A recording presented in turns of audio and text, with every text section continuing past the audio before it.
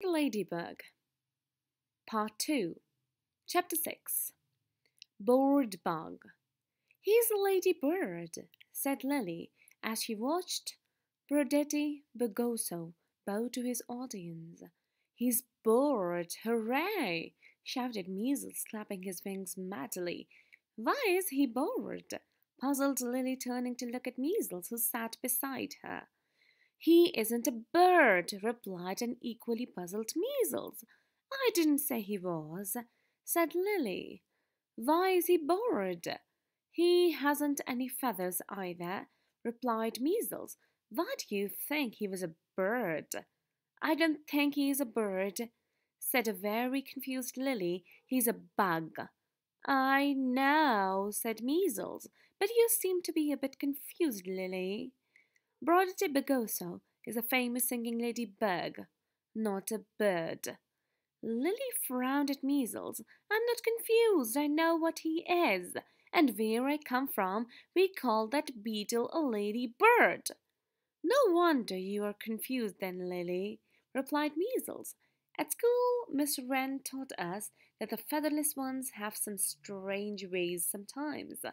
But before an open mouthed Lilly could say anything more, a silence fell over the hollow, and all eyes settled on Brodette Bugoso. He began to sing, and at once Lilly forgot he muddled her muddled conversation with Measles. From the small but brightly coloured bug on centre stage came a perfect tenor voice clear as a fresh morning breeze.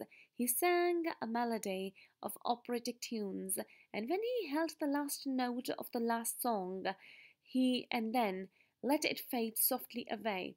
The hollow in the orchards was silent for just one second, and then the clapping and cheering began. Brodette held his hands up high and waved to the crowd. He bowed low again and again before slowly making his way backwards to the exit at Clematis Curtain. Brings a tear to the eye, Gladys, sniffed Bertha Pigeon. She dabbed at the corner of her eye with a wing feather. Such a lovely voice. Yes, sniffed Gladys, digging about in her knitting bag. I have got my autograph book in here somewhere. Are you thinking of going down to see him? asked Bertha. Only I would love to meet him. I can tell him about my Cyril. Bertha got up and brushed her leg feathers flat again as she rushed down. Towards the stage area, her beaded necklace flapping about her neck. Why are you going to tell him about your Cyril? called Gladys, gathering pace behind her, knitting bag flapping about her neck. He cannot sing. He's having lessons, replied a slightly indigent Bertha, and he is learning a juggle. If I can get him an audition, but the rest of the conversation was lost in the chatter of the departing audience. Would you like to come backstage and meet the entertainers, Lilly?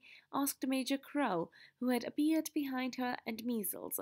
Uh, oh, yes, Major, said Lilly, getting up and brushing a few bits of grass and leaf from her clothes. If you follow me through the crowd, then, my dear, and he gestured with his wingtip the direction they should take. And me, me, please, shouted Measles. Lilly is my friend, and I'm supposed to look after her.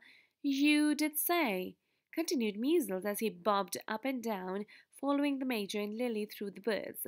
Yes, Measles, you can come as well. Stop jumping about, my boy. You are giving me a headache, commanded the Major, striding ahead. The Major led Lilly and Measles down into the hollow, and around the side of the clematis curtain. Now that the concert had finished, it was very busy. Miss Thrush's fledgling choir was chattering excitedly to one another. Zagarity pigeons gymnasts were packing away their equipment. A small gaggle of parents kept standing in the way and embarrassing their chicks by suddenly hugging them in front of their friends. Give your Auntie Hilda a big hug as well, Trevor, demanded a motherly starling to one of the older members of the fledgling choir. Trevor, young starling, whose feathers were still mainly brown, but with a lovely blue green sheen beginning to show through, looked horrified at his mother's request. He cast a sideway glance at his school friends, who were all enjoying watching him squirm. Oh, Mum, replied Trevor timidly. Trevor! Came his mother mother's stern reply, and Trevor dutifully stepped forward. He held out his wings and gave his elderly starling aunt the briefest of hugs. Or at least he tried to. Elderly Auntie Hilda had other ideas, and she clung to Trevor so that they ended up doing a, a weird little dance. Trevor's friend giggled into their feathers. Mrs. Starling beamed with pride, and Trevor wanted to be anywhere else but there, amongst all the